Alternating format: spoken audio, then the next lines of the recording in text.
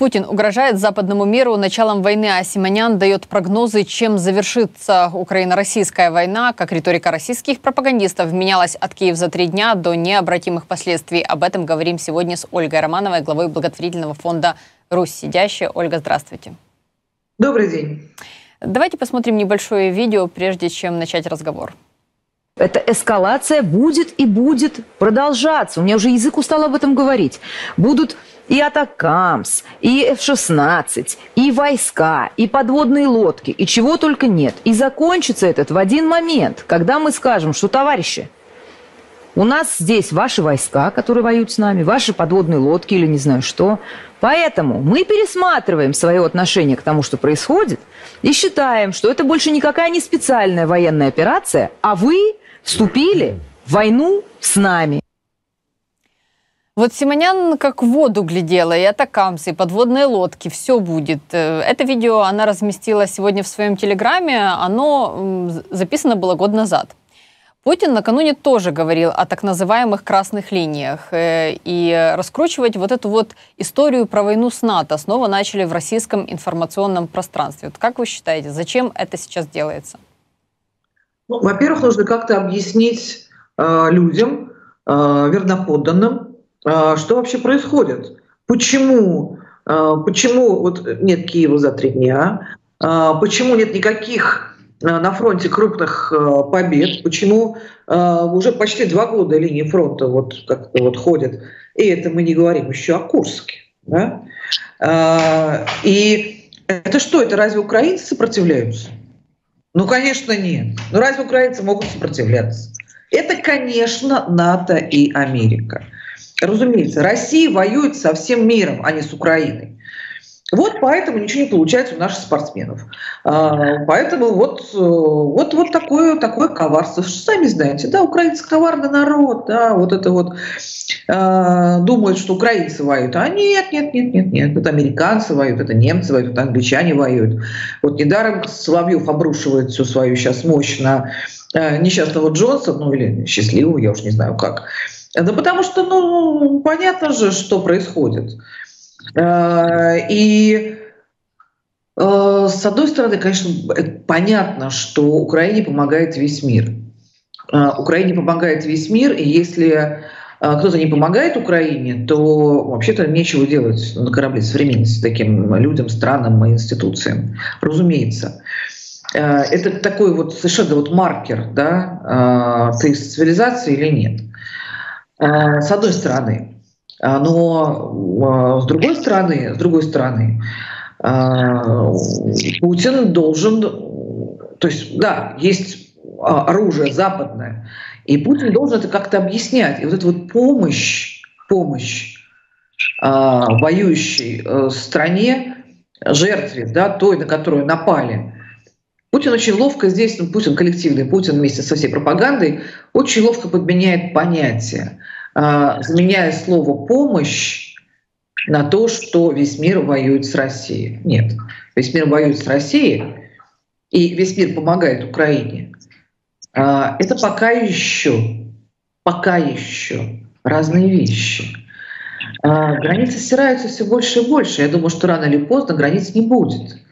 И мне кажется, это правильно. А, но пока так.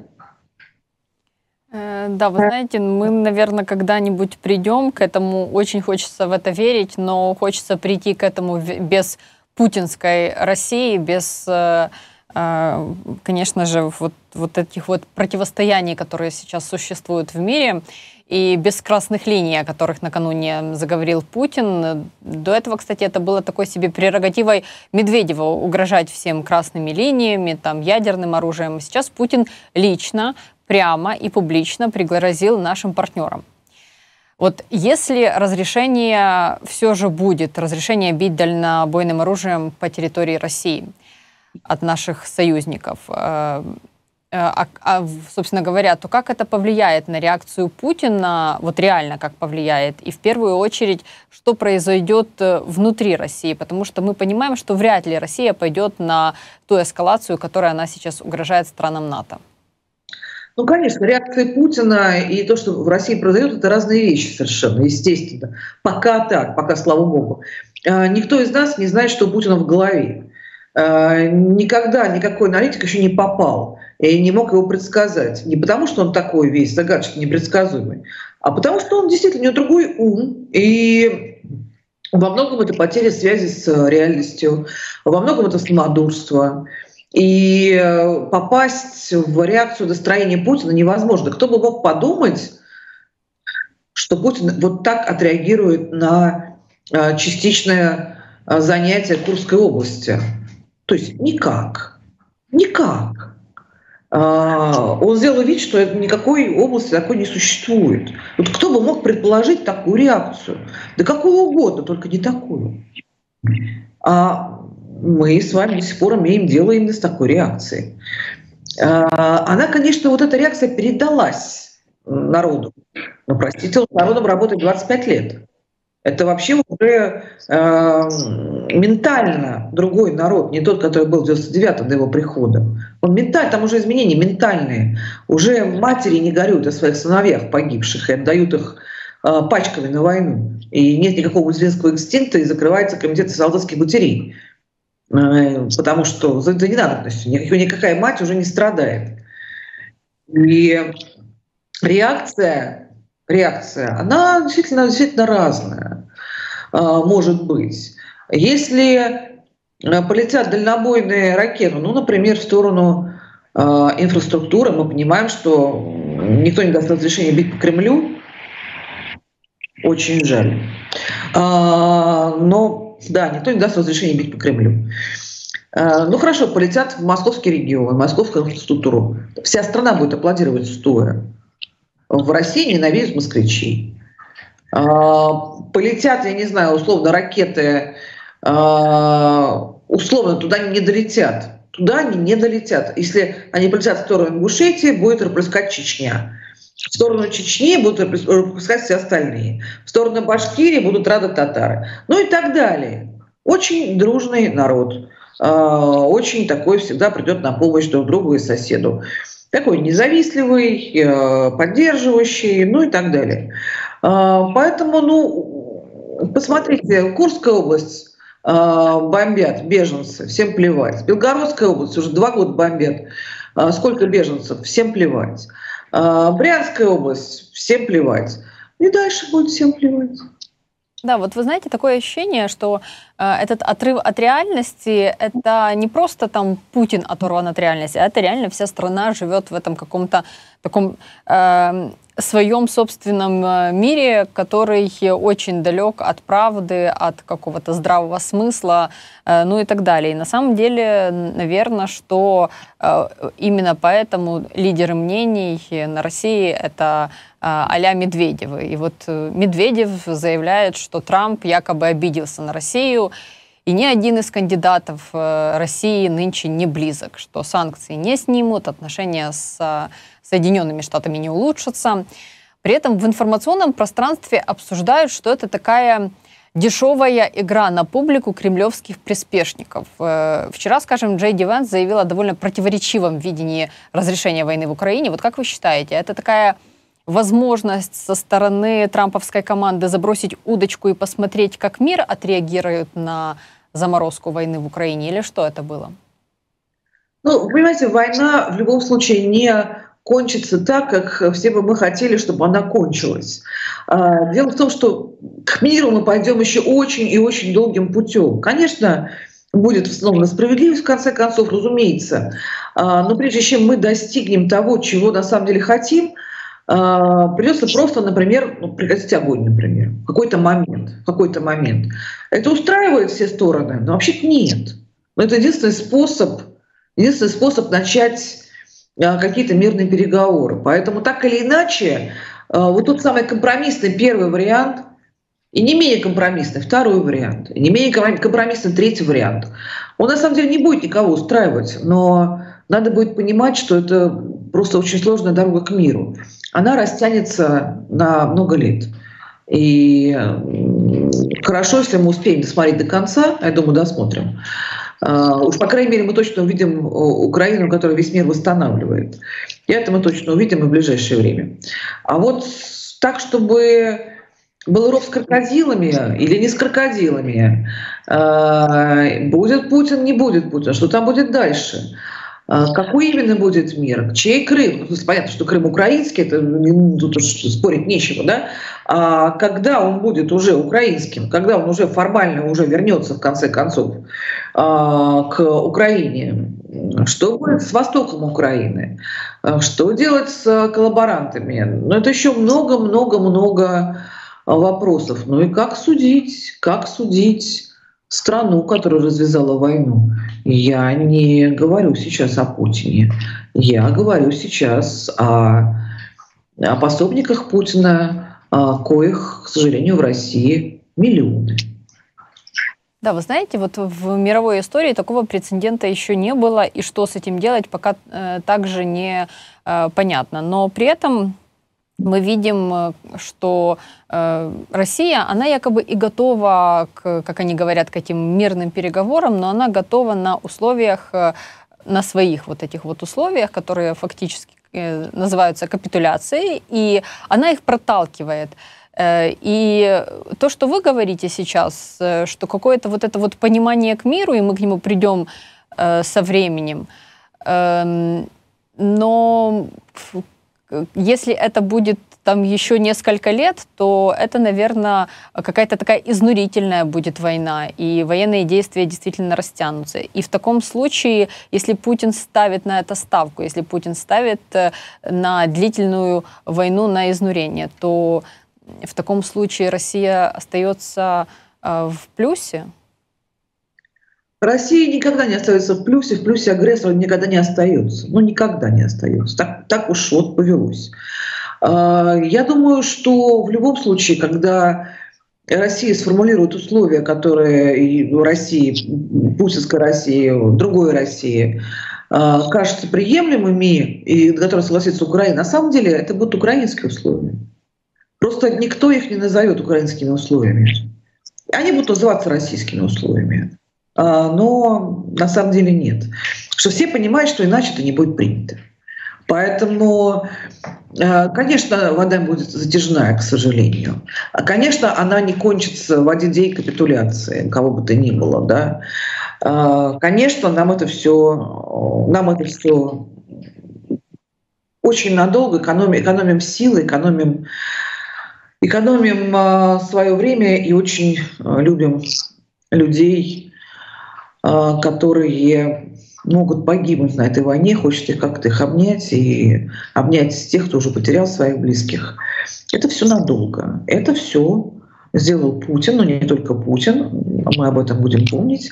И дальше уже формулируют условия, конечно, Украине. Конечно, Украине не потому, что Украина самая сильная, а не потому, что Украина самая пострадавшая, а потому что за Украиной стоит весь цивилизованный мир. И вот, вот, вот, вот так вот, вот, вот он стоит и говорит Украина, диктуй. Ну да? вот э, то, о чем вы говорите, Владимир Зеленский накануне также высказался о китайско-бразильском так называемом мирном плане. Э, он сказал, что любая мирная инициатива может быть представлена миру только после обсуждения с Украиной. И мы готовы разговаривать и с Китаем, и с Бразилией, договариваться с Россией и забыть, э, сколько людей убила эта страна. Но это э, невозможно для нас сейчас. В то же время Россия ставит перед миром ядерные угрозы, продолжает убивать украинцев и говорит о том, что от переговоров, ну, то есть от переговоров реальных, то, о чем мы с вами говорим, она отказывается. Раньше говорили, что на России ждут американских выборов э, и якобы вот э, имеют там определенного кандидата, на которого не рассчитывают. Вот как сейчас? Чего на России ожидают, в том числе, если говорить там о кремлевских элитах? Ну, мы сейчас видим, что президент, очень странно, президент России, так называемый, так называемый президент, э, очень странно поддержал Камалу Харрис. Э, недавно на Владивостокском комическом форуме сказал, что очень изразительно смеется, и поэтому очень нравится Путину. Ну, слушайте, ну это же абсолютно мизогиния. Э, человек на самом деле просто оскорбил. Оскорбил кандидатку в президенты США Камалу Харрис, фактически сказав, что ну, вздорная баба, ну, это вздор ржет задорно. В переводе с путинского языка, да, то есть он сказал-то вот это. А, да, совершенно понятно, что ему не стоит ждать американских выборов ничего хорошего для себя, а, но он привык, Путин привык, и он очень хорошо а, научился, простите меня за выражение, делать из дерьма конфетку. Он прям научился. И я думаю, что этот навык он сейчас оттачивает в преддверии американских выборов и собирается договориться так или иначе с победителем. Э, ну, посмотрим, как ему это удастся. Мы с вами видим, что удача все чаще и чаще от него отворачивается. В конце концов, мы привыкли все считать, что Путин такой везунчик, ему все время везет. Смотрите, как везет за 25 лет. Э, из, в общем, почти нормальной страны, молодой, растущий, почти демократический президент, во что это все превратилось. Правда, везунчик? Мне кажется, нет. И вы знаете, вот э, если говорить о сегодняшних событиях, то якобы Путин поставил задание э, уже сейчас Курщину не замалчивать в информационном пространстве, а вытеснить украинцев до 1 октября, вроде как поставил такой дедлайн. Как вы считаете, вот почему 1 октября и почему вдруг понадобилось освободить Путину Курщину? Мне кажется, он заказал себе подарок на день рождения. 7 октября Путину 73. Мне кажется, это виш-лист. Э, вы знаете, интересная такая версия, потому что э, ну, Путина вишлист, а на России, возможно, могут огласить тотальную мобилизацию. Как вы считаете, вот на этом этапе, что с ресурсами на России, с человеческими в первую очередь? Ну, пока, пока у России есть деньги, а у России деньги есть, к сожалению, и много денег, а пока им проще покупать. Они пока покупают людей, пропагандируют и покупают, пока им этого хватает. А как только перестанет хватать денег, ну а сейчас что-то не видно, что перестало хватать, тогда это, будет тотальная мобилизация. А сейчас пока, пока крепостных покупают, можно покупать дальше. То есть добровольцы все же есть, э, насколько я понимаю, потому что если говорить о том, что э, там выгребли уже в дальних регионах и подбираются к Подмосковью, то насколько, скажем, те же москвичи готовы идти сейчас отдавать свою жизнь за путинские интересы?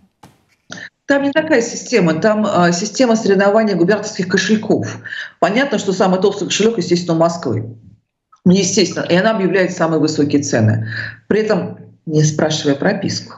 То есть на самом деле все, что нужно человеку, чтобы получить максимально много денег, это доехать до Москвы.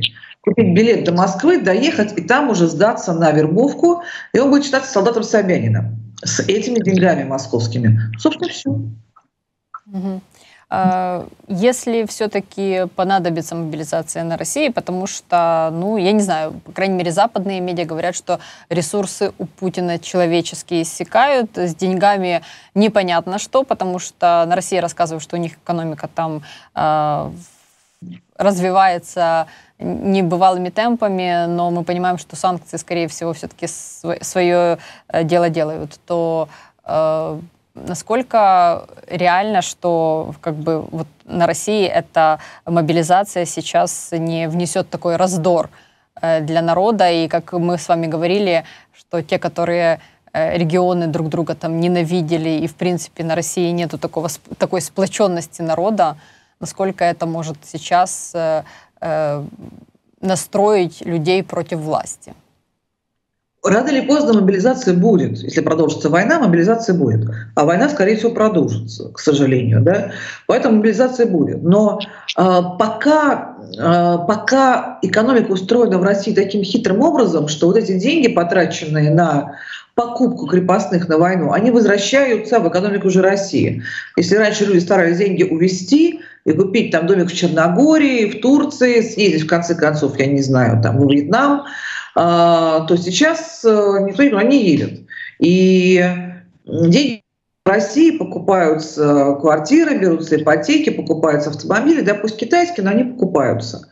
Деньги остаются в России, и из них снова можно выплачивать э, и набирать новых новых э, Но дело в том, что э, это инфляция, разгоняется инфляция. Если Платили два года назад 120 тысяч рублей, а теперь 5 миллионов 200 платят.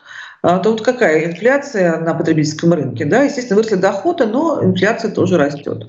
Пока люди не ощущают, что часть их доходов съедает инфляция. Скоро будут ощущать. Я думаю, что тогда, когда будут ощущать, цены будут расти, расти, расти и разгонять инфляцию, цены на живой товар будут расти, инфляцию разгонять. Вот тогда, я думаю, что и можно будет говорить уже о большой мобилизации. Угу. Э, вы знаете, в то же время Россия, вот э, она может мобилизировать, она может там э, руководить народом так, как ей удобно, своим в первую очередь, благодаря информационной политике своей так называемой пропаганде, то, о чем мы с вами говорим. И российская пропаганда не ограничивается только территорией России.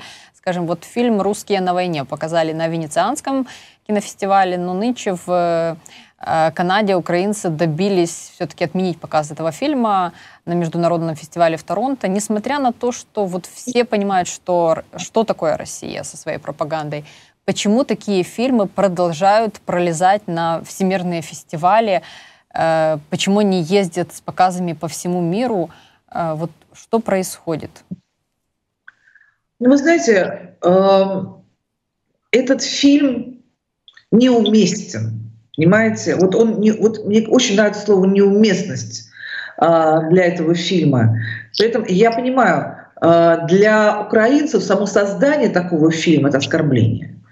Потому что это очеловечивание противника, это вот наши мальчики. Это показывают западному зрителю, который, в общем, и так довольно неокрепшим умом и эмоциями. Поэтому вот это вот показ этого фильма, на каких бы то ни было фестивалях, Венеции ли, в Торонто ли, э, очень неуместно и, в общем, оскорбительно. Э, что такие фильмы нельзя снимать? Я думаю, что можно. Потому что это будущий очень интересный документ. Я понимаю, что не без помощи спецслужб. Я понимаю, что не без помощи Министерства обороны. Режиссерка Анастасия Терехова, если не ошибаюсь, семь месяцев провела на передовой, снимая снимая фильм, на передовой, где даже мобильные телефоны запрещены, где нельзя снимать. А, она это как делала? Причем фильм а, заявлен как канадский. Да, хороший себе канадский фильм, когда тебе можно жить 7 месяцев. Да, звучат разные мнения, но, в общем, это очеловечивание бесчеловечного. Это очеловечивание того, чего на самом деле никак нельзя а, очеловечивать. Нет там ничего человеческого. Это, вы знаете, это все равно очеловечивать. Я все время наблюдаю в ужасе. Я вот как-то вот в ужасе наблюдаю за бабками. Вот какая, какая-нибудь там бабка, боже, одуванчик, идет такая, а, вот тебе конфетка, а вот котеночка надо взять. И тут я камеру спрашивают, там что-нибудь обворачиваются и говорят, что всех украинцев надо убивать. И на себе мальчик конфетку. И идет себе дальше. Вот, вот вот такое страшное, а оно сейчас повсеместно, особенно на фронте. Нельзя человечивать, нельзя. То, что он дает конфетку мальчику и гладит котенка, не делает а, чудовище человеком, не делает. И да, такие фильмы мы с вами можем обсуждать на каких-то закрытых показах после войны и разговаривать друг с другом, как это вообще могло случиться. А сейчас, во время войны, показывать это как э, фильм, акцептованный отборочной комиссией фестиваля, нельзя. Нет. Да, я абсолютно с вами согласна. И напоследок хочется поговорить о сегодняшнем событии. 49 украинских э, военных и гражданских вернулись домой, ну и 49 россиян уехали к себе. А, обмены военнопленными, в принципе, участились в последнее время. Вот как вы считаете, если России, в принципе, мы понимаем, что ну, все равно на своих э, граждан, на своих этих военнопленных, то почему сейчас э, э, участились обмены? То есть причина этому операция на Курщине и большое, большое количество тех же срочников, которых взяли в плен, и, или, или может быть какая-то другая причина? знаете, мне кажется, что причина это украинцы и особенно украинки. А, я как человек, который работает сейчас вот очень много с украинками, по крайней мере, по а, военнопленным, по херсонским похищенным, по цивильным заручникам. А, я знаю, что это люди, которые они снесут все на своем пути, любые препятствия. любые препятствия, но своего родного человека из-под земли найдут и найдут, и лекарства смогут доставить, и все. Это, э, это, это вот, вот это, да, я разговаривая с украинскими, и с военными, там, и штабными, и с людьми, которые вообще отвечают за а, вот этот вот процесс, а, я вижу, как они на самом деле а, измотаны, измучены общением с родственниками, с которыми нельзя не общаться, да, ты, конечно, общаешься, и которые знать не хотят, почему обмен твоего человека невозможен. Возможен. Возможен. А, это национальный характер. Вот это вот то, что называется «своих не бросаем» на самом деле, а не как в российской пропаганде. Я очень рада, что этот обмен впервые вошло семь. Семь цивильных заручников. Семь – это очень много. Обычно они как э, такая вот э, слегка вот как при, прилепляют к большому обмену, там один-два максимум. А тут семь, и это женщина еще. Еще и женщина из ростовских тюрем. Это просто, ну, слушайте, сегодня хороший день. Да, согласна с вами, Ольга.